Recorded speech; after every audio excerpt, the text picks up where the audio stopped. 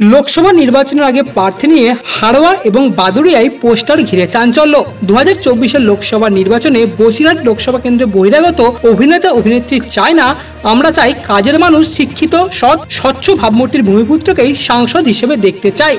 এমনই পোস্টার ঘিরে চাঞ্চল্য ছড়িয়েছে গোটা এলাকায়। পোস্টারের তলায় আবার তৃণমূল কংগ্রেস কর্মীবৃন্দ এমনটাও লেখা রয়েছে। হাড়োয়ার কুলোটি এবং বাদুড়িয়া সহ বিভিন্ন জায়গায় ছোট ছোট সাদা কাগজে লেখা রয়েছে, ঠিক এই বার্তা। সেই সমস্ত পোস্টারে পরিষ্কারভাবে লেখা রয়েছে, আগামী দু হাজার চব্বিশের লোকসভা নির্বাচনে বসিরহাট লোকসভা কেন্দ্রে কোনো বহিরাগত কিংবা কোনো অভিনেতা অভিনেত্রীকে প্রার্থী করা চলবে না।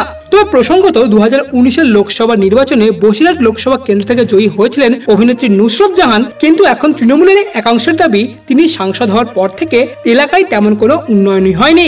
সাংসদকে এলাকার সাধারণ মানুষ তো দূরের কথা, খোদ তৃণমূলের কর্মী বিন্দুরাও কাছে পান না। জানিয়ে যথেষ্ট ক্ষোভ রয়েছে এলাকায়, গত পাঁচ বছরে বড় কোনো জায়গায় সমাবেশ ছাড়া সাংসদকে দেখাই যায়নি।